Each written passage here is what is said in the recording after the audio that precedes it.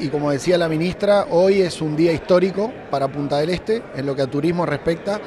y yo creo que es un antes y un después.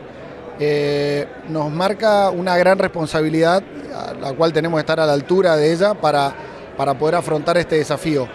Lo que ha logrado esta certificación, por sobre todas las cosas, es unir a todos los actores del turismo que hace años trabajan por Punta del Este, pero en forma separada. Esto ha articulado una organización, una unión entre todos los actores, Corporación Gastronómica, la Liga que tiene casi 100 años, eh, inmobiliarias, guías de turismo, desde el más chico, eh, de la más chica organización,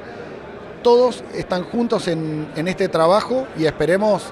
como te decía, estar a la altura de esta gran responsabilidad que se nos da. Esto, es el inicio, es, muy lindo presentar esta certificación, pero ahora se viene un gran trabajo eh, creemos que tenemos material y capacidad humana para hacerlo